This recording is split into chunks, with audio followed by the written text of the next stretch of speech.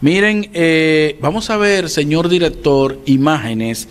de cómo están los trabajos de reconstrucción de la circunvalación norte de esta ciudad de Santiago. Esta obra será reinaugurada por el presidente Luis Abinader el 30 de marzo. Los trabajos de reconstrucción de la circunvalación norte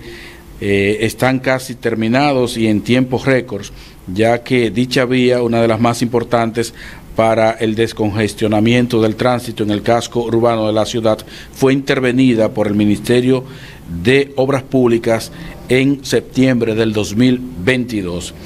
y es que tras presentar un avanzado estado de deterioro a casi nueve años de su construcción, el ministro de Obras Públicas de Línea Ascensión Burgos, por disposición del presidente Luis Abinader, decidió intervenir dicha vía, además de la capa de asfalto que fue colocada nueva vez la circunvalación norte fue sometida a un profundo cambio de embellecimiento, señalización, también fueron construidas nuevas marginales para conectar las comunidades que fueron dejadas aisladas. Un trabajo profundo, un trabajo eh, interesante y sobre todo esta vía que es un desahogo para la ciudad de Santiago. Qué bueno, qué bueno que el presidente Luis Abinader